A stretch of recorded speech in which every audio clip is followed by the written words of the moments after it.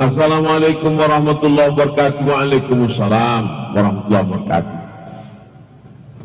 Bagaimana cara membedakan antara berhati-hati dengan kelakuan jelek seseorang dengan rasa suuzon kita kepada seseorang?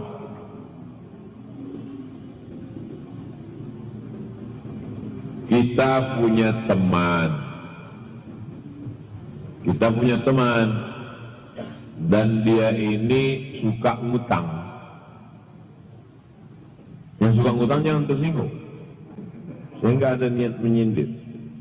Nah, bagaimana cara membedakannya? Kita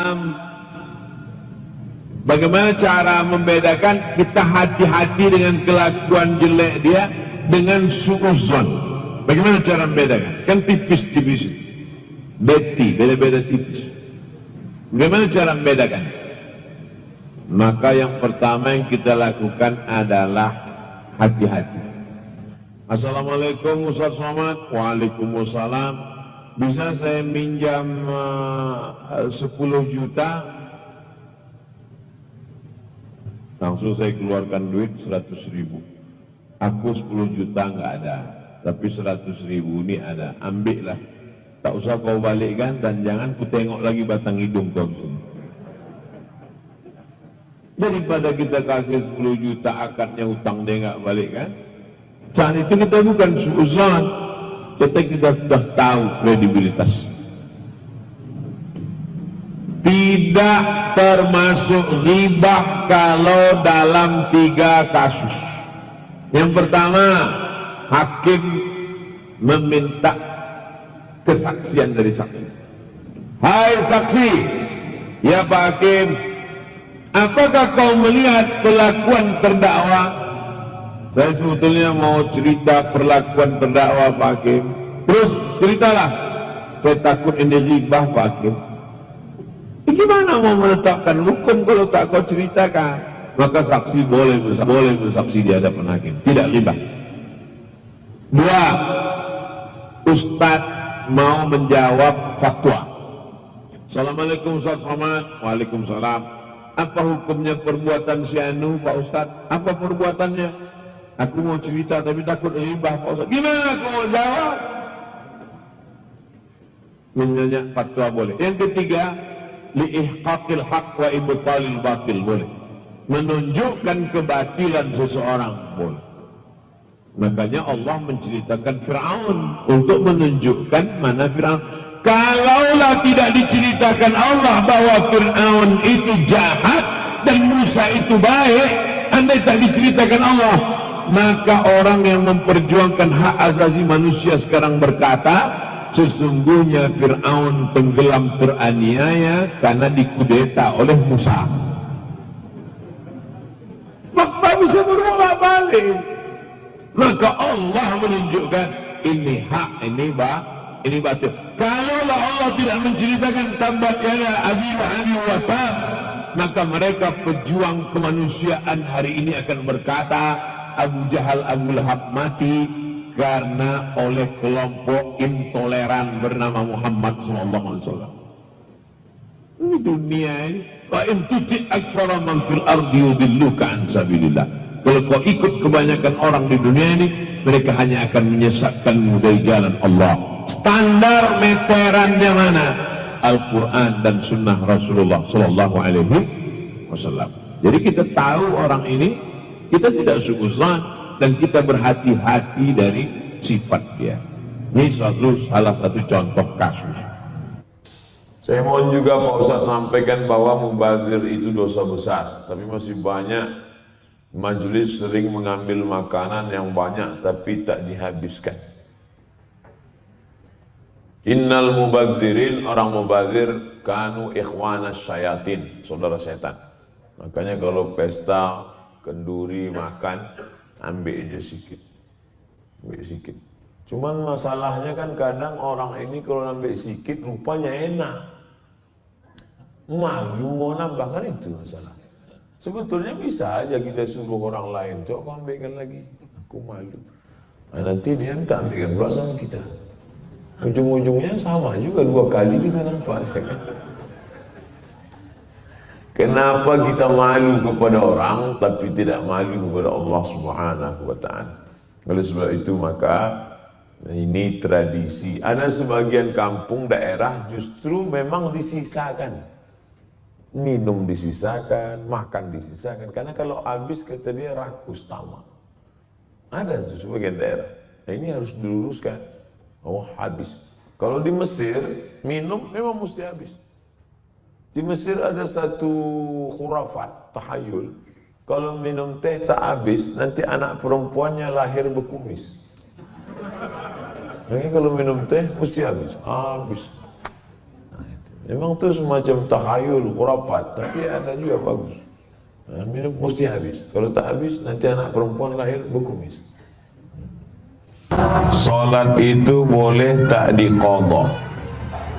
Salat itu ada tiga Usalli fardal maghribi salasa raka'atin adaan Adaan tunai, cash Nanti Yang kedua Usalli fardal maghribi salasa raka'atin i'adatan I'adatan salat yang diulang Mana contoh salat yang diulang?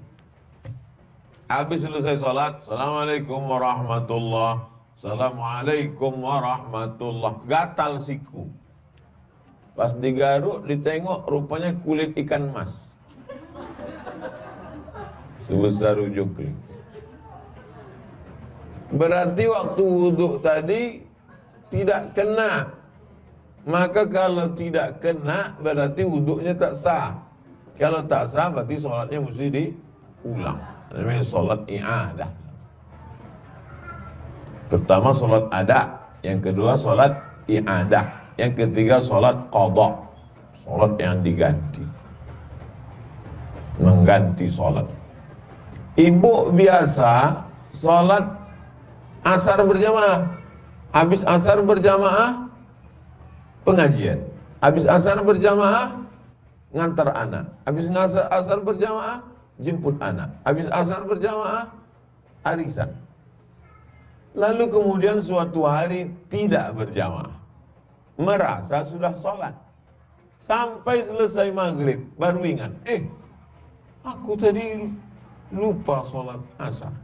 Maka sholat asar itu tadi mesti dilaksanakan. Melaksanakan sholat itu disebut dengan qadha Kapan waktunya di qadha?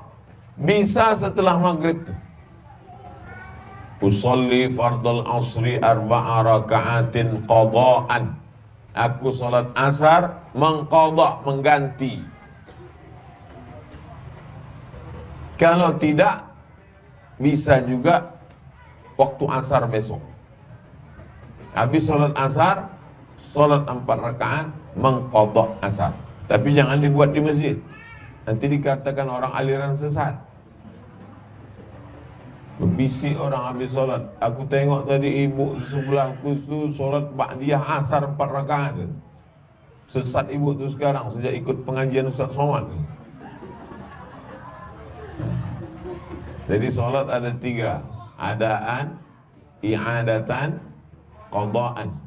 Solat qada bukan boleh, wajib. Tapi jangan gara-gara qada ini lalu mudah-mudah saja meninggalkan solat. Gara-gara pesta nikah anak kodok. Dipasang makeup jam 11.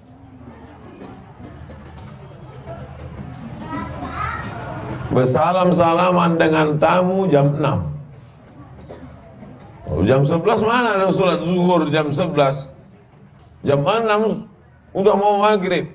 Asar sama zuhur tak sholat. Pas ditanya, kok tak sholat zuhur sama asar? darurat. Kata Ustaz Somad bisa dikodok. Saya tak tanggung jawab itu. La kafarata laha illa dhalik. Antara pajak penghasilan dan hutang, mana yang lebih diutamakan Pak Ustaz? Bolehkah tak kita tak bayar pajak? Jadi saya sekarang ini mesti hati-hati juga. Ada orang ini bertanya mencari ilmu, tapi ada juga mencari pembenaran. Ya memang tak mau bayar pajak. Bisa tak Ustaz Somad ni mengeluarkan fatwa biar supaya tak bayar pajak? Pajak ini kewajiban negara. Apa hubungan kita dengan negara? Ati Allah, ta'ala kepada Allah. Wa ati Rasul, ta'ala kepada Rasul. Wa ulil amri. Uli orang, amri urusan. Ada sekelompok orang yang mengurus urusan kita. DPR RI, DPRD, DPR kota, DPR kabupaten, bupati, wali kota, gubernur, perda, perbub, kepres, RUU, itu semua digodok oleh ulil amri kesepakatan kita sebagai bangsa. Maka keluarlah pajak fiskal, pajak motor, pajak ini, pajak Sampai manusia pun dipajak. Lama-lama napas nih pajak. Kalau sampailah napas kita dipajak, beruntung orang sesak napas. Setengah pajak dia. Oleh sebab itu maka semua kita laksanakan. Tapi kalau perkara prioritas mana? Utang dulu. Tapi tidak serta merta saya katakan utang lalu membenarkan untuk tidak bayar pajak. Dulu saya sosialisasi masalah tak boleh mencuri arus PLN. Lalu sebagian orang mengatakan, karena negara curang, maka boleh kita curi pula PLN-nya. Nah, itu tak betul. Karena kalau kita curi arus listrik ini, itu kita bukan mencuri punya negara. Karena negara itu tidak punya apa-apa. Ketika kita curangi listrik, sesungguhnya kita sedang memakan hak saudara kita. Karena ini milik kita bersama. Air, bumi, minyak, batu bara, hutan. Itu milik umat, milik masyarakat, milik orang banyak. Al-malul am namanya. Harta orang banyak. Yang dikelola oleh negara. Andai negara curang, tidak serta-merta menghalalkan perbuatan harus kita balas dengan kecurangan. Itu mesti dipahami dengan baik. Kalau tidak nanti orang, kau kenapa tak ngurus STNK BPKB? Ah, ngapain? Orang banyak korupsi, lalu korupsi orang itu membenarkan kita pula untuk menjadi jahat. Ah, lalu apa beda dia dengan kita? Oleh sebab itu maka kita tetap membayar pajak dan hutang piutang pula. Orang yang mati syahid tidak terkena azab kubur. Orang mati syahid tidak terkena hisab. Orang mati syahid tidak terkena sakit sakaratul maut. Orang mati syahid langsung masuk surga. Ilat dain kecuali utang. Tak semua orang mati syahid itu terus masuk ke surga. Ilat dain kecuali orang yang utang. Sedangkan orang mati syahid aja terkendala masuk surga gara-gara utang. Apalagi mati konyol. Saya ingin bertanya, sedari kecil ayah ibu saya berpisah, tidak merawat saya sedari kecil sampai sekarang. Sampai saya diriwayat oleh kedua orang tua angkat. Kepada siapa saya harus berbakti?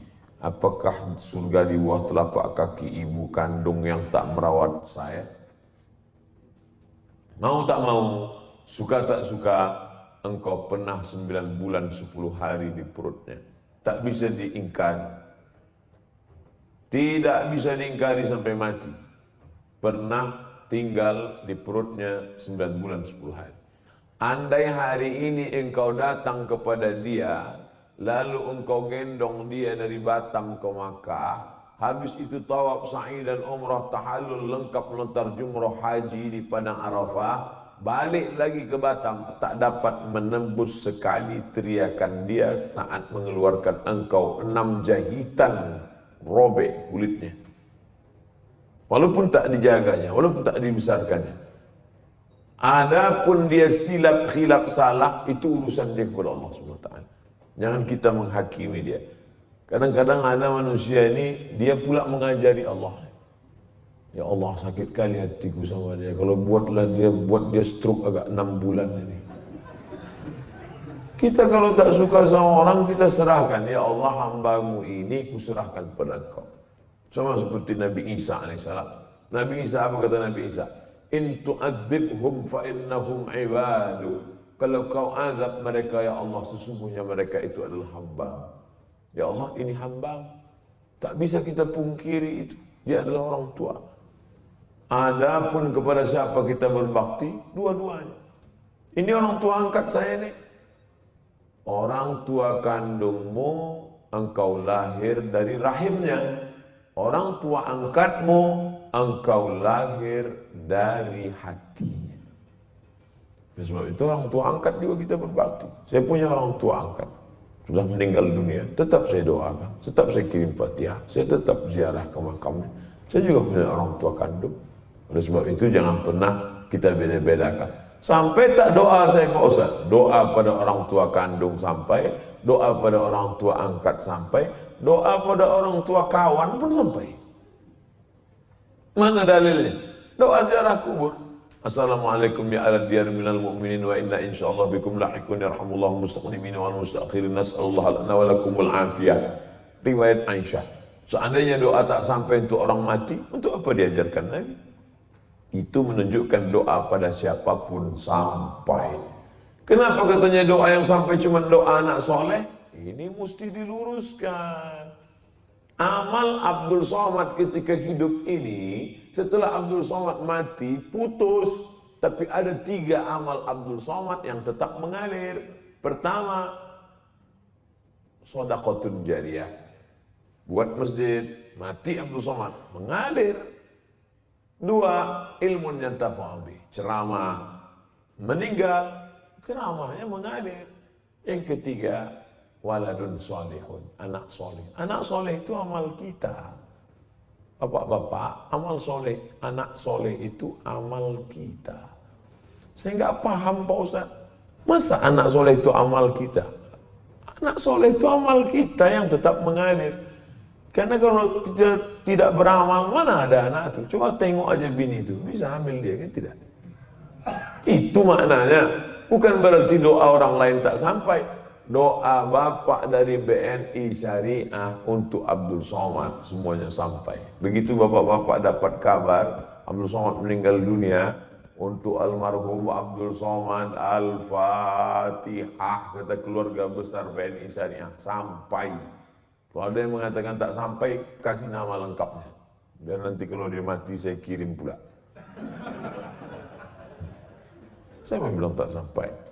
Oleh sebab itu maka ijma' ulama tentang sampai. Jangan khawatir yang tak punya anak. Pak Ustaz, saya nanti meninggal dunia anak tak ada siapa lah yang mendoakan saya. Enggak segetonya kali. Kami semua akan mendoakan. Ada pun yang mengatakan doa anak soleh, itu hadis tentang menjelaskan amal kita putus. Tapi ada satu amal kita yang dulu pernah investasi kita di dunia tetap mengalir. Ada pun amal orang hidup untuk orang mati sampai. Doa Pak John sampai, doa Bapak sampai, doa Ibu sampai, doa siapa pun sampai. Dengan syarat masih sama-sama simpati. Dari XL payah, roaming. Apa hukumnya kita umat Islam melayat ke rumah non muslim?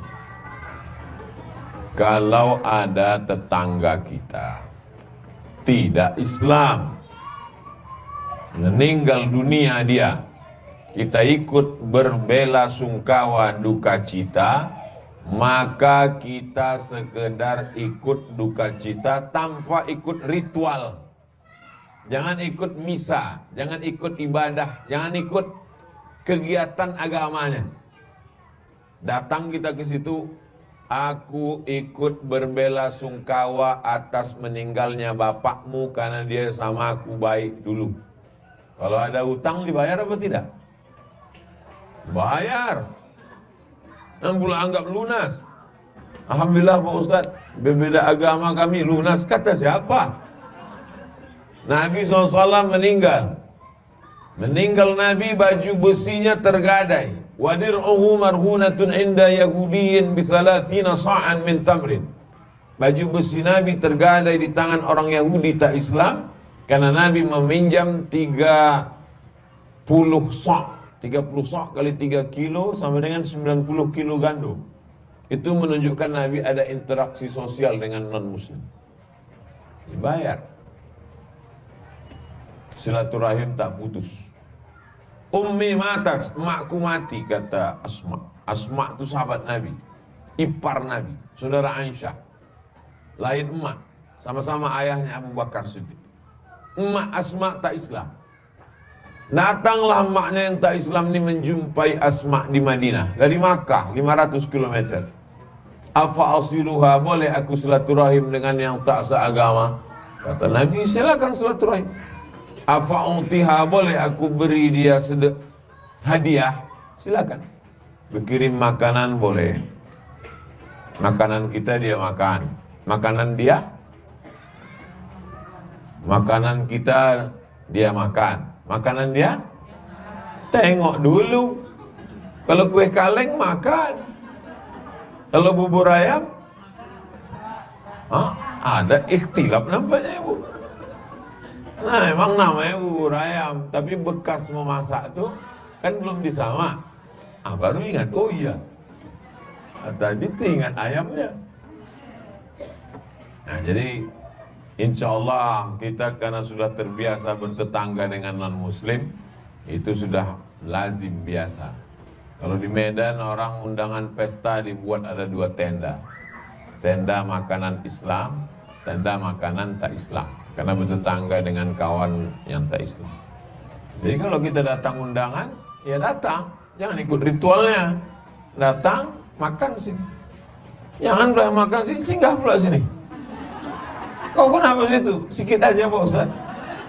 Oh, lain. Jangan ikut ritual. Sekedar cukup bela sungkawa. Menunjukkan bahwa kita bertetangga baik, berkawan baik. Islam ini tidak mengajarkan membunuh orang hanya karena berbeda agama. La yanhakumullahu 'anil ladzina lam yuqatilukum fid din kalau mereka yang tak seagama denganmu itu tidak memerangimu, walam yukhrijukum min diarikum tidak mengusirmu dari kampung halamanmu. Dua syaratnya. Dia tidak memerangimu, dia tak mengusirmu dari kampung halamanmu, anta baruhum kau buat boleh baik, buat buat baik sama dia. Watuk situ ilaihim bersikap adil. Kalau dia tidak mengusirmu, dia tidak memerangimu, kau boleh bersikap adil dan berbuat baik kepada dia. Ini ajaran Islam. Penajaran Islam itu asal tak sama agama, pancung kepalanya, larikan kompornya. Islam ini agama yang berlapang dada menerima perbedaan. Wala ana abidum ma'abattum wala antum abiduna ma'abud lakum dinukum. Saya masih galau mengenai bagi hasil bank syariah apakah halal atau tidak halal. Air minum kita ini halal atau tak halal karena saya ragu mau minumnya air minum kita halal. Dari mana Ustaz tahu ada halal? Ini ada logo di samping. Halal. Majelis Ulama Indonesia. Air minum makanan kerupuk snack halal. Eh snack kan ular Pak Ustaz. Kalau ada label halalnya halal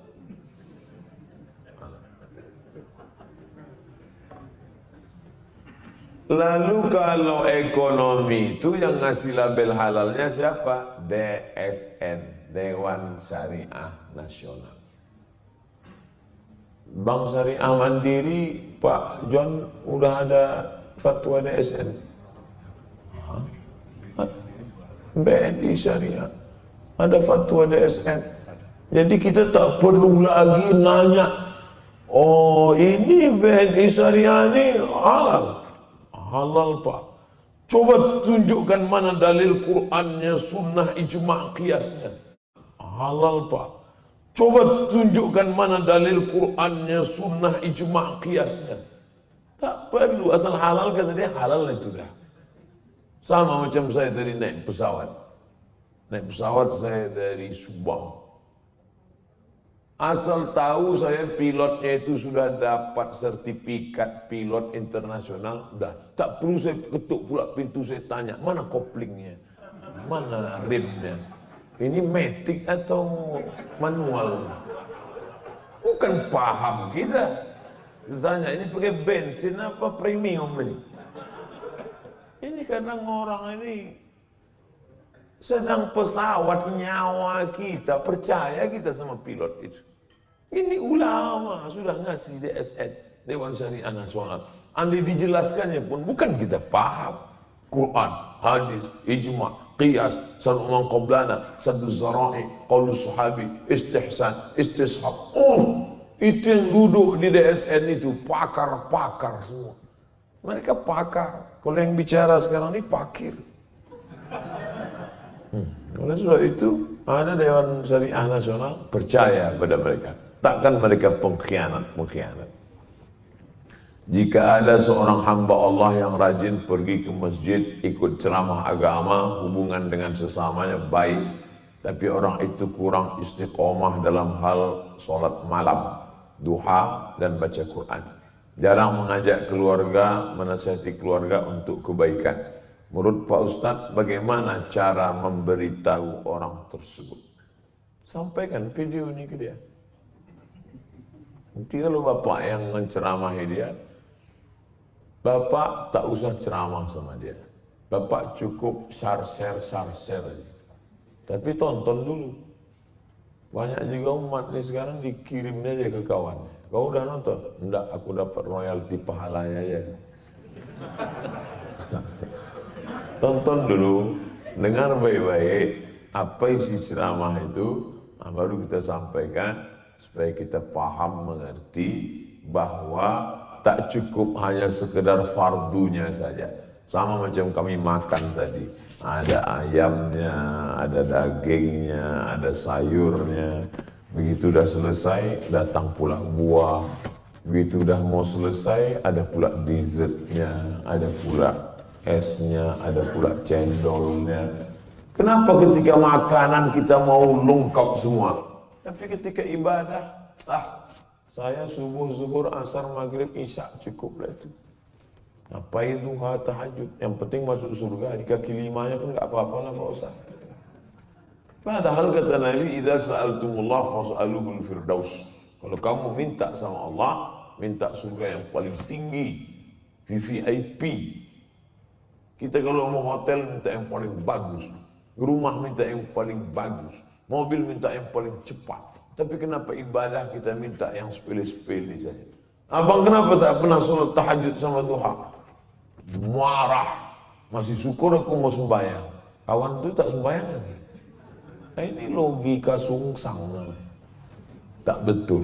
Harus diluruskan pemikiran kita bahwa kita beribadah ini mencari ridha, rahmat dan kasih sayang Allah Subhanahu wa taala.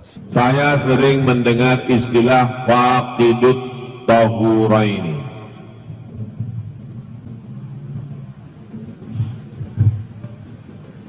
Apa artinya dan bagaimana cara sholat faqidut tahuraini? Faqidu enggak ada. Tahuraini alat bersuci dua. Alat bersuci dalam Islam itu dua. Satu air, yang satu debu. Tiba-tiba dia masuk ke dalam penjara sampai di dalam penjara itu air nggak ada, debu pun tak ada. Karena penjaranya semuanya dari kaca keliling. Dipegang tak ada debu. Mohon maaf pagi. Tak ada debu. Ini tak ada. Mau tayamum tak bisa, mau sholat pakai wudhu tak bisa. Apa yang dia lakukan? Tiga mazhab. Mazhab Hanafi mengatakan tak wajib sholat. Karena tak ada alat bersuci, maka kewajiban sholat gugur.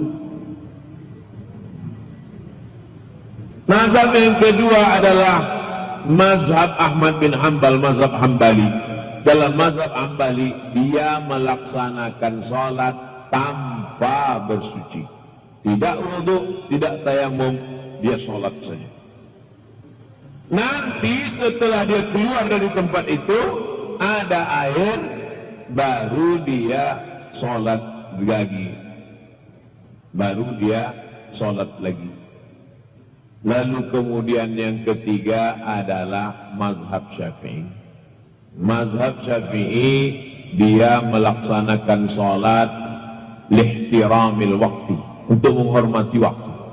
Karena 24 jam berputar waktu ini tidak boleh kosong daripada mengingat Allah.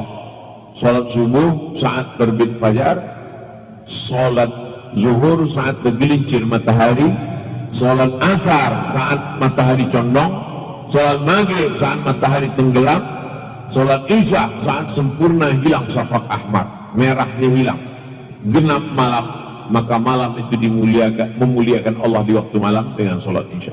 Tidak boleh lima waktu kosong, maka dia sholat dengan ihtiramil waktu, menghormati waktu, tapi nanti setelah dia dapat air, dia ulang lagi sholat, nama sholatnya sholat i'adah. Berapa sih sebenarnya sholat itu Pak? Tiga. Yang pertama sholat ada. Usalli fardhu zuhri arba'a raka'atin adaan. Yang kedua sholat qadha. Usalli fardhu zuhri arba'a raka'atin qadhaan. Yang ketiga sholat ada. Usalli fardhu zuhri arba'a raka'atin i'adatan. I'adah. Diulang lagi. Kenapa diulang? Karena yang tadi dikhawatirkan tidak sah. Karena tidak ada cara bersucinya. Lalu Ustadz di antara yang tiga ini Ustadz condong ke mana? Saya condong kepada mazhab syafi'i. Kenapa Ustadz condong pada mazhab syafi'i? Karena mazhab syafi'i lebih hati-hati. Dia berada di dalam air nggak ada, alat bertayamum tak ada, dia tetap sholat juga. Tapi sholatnya itu apa? Lihtiramil waktu, menghormati waktu. Lalu kemudian setelah keluar, dia ganti yang tadi itu. Tapi bukan pada i'adah, mengulangi sholat itu. Maka begitulah yang diajarkan. Kami mau lihat lengkapnya di mana kami bisa baca Pak Ustaz. Dalam buku judulnya Al-Fiqhul Islami wa Adillatu. Syekh Wahbah Az-Zuhairi sudah meninggal dunia dari Suriah. Jabatan terakhir dekan Fakultas Syariah Universitas Damaskus sudah diterjemahkan ke bahasa Indonesia. Islamic Jurisprudence and Evidence. Hukum Islam dan dalil-dalilnya.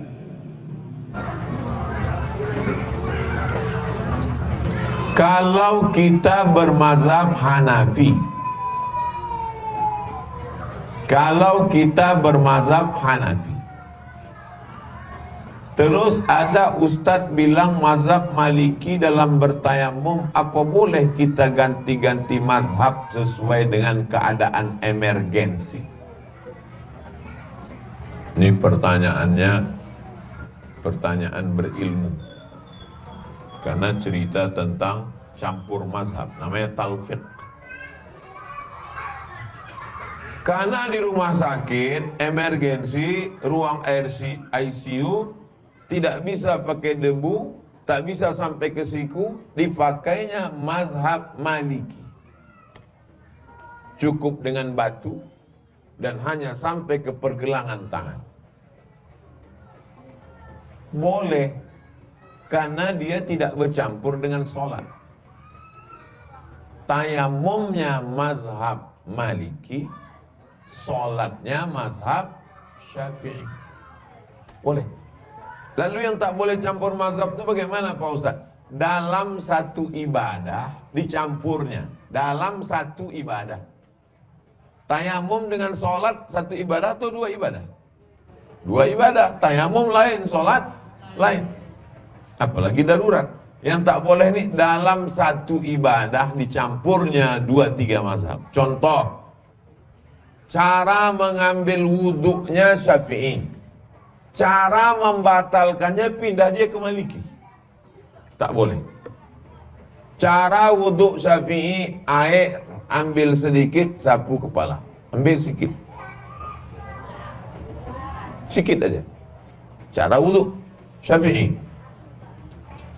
Pergi dia undangan ke hotel. Sampai di hotel, Barakallahu lakum? Kena ujung jari pengantin. Menurut mazhab Syafi'i batal apa tak batal? Batal. Cara wudhu dia tadi kan mazhab Syafi'i. Maka membatalkannya juga pakai mazhab Syafi'i. Berarti sudah batal.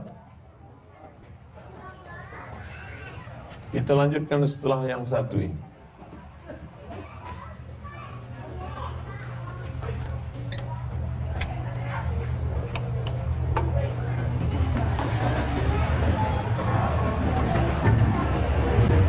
Nanti kalau tak saya hidupkan lampu, nampak di rekaman tuh muka saya hitam.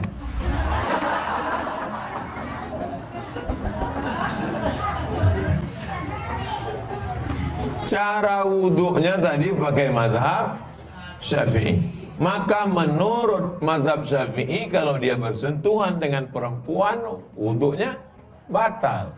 Tiba-tiba setelah selesai dari acara di hotel tuh pergi dia Masjid Ar-Rahman, sholat dia. Ditanya kawannya, wudhu kau kan sudah batal tadi. Aku pakai mazhab maliki. Bersentuhan kalau tak bersahwat tak batal. Ini tak boleh. Kenapa tak boleh? Karena dia mencampur dua mazhab dalam satu ibadah. Cara wuduknya syafi'i, cara membatalkannya dia pindah ke Maliki. Adapun ibadahnya berbeda, boleh. Pindah mazhab, beda ibadah, boleh. Yang tak boleh itu berpindah ke lain hati.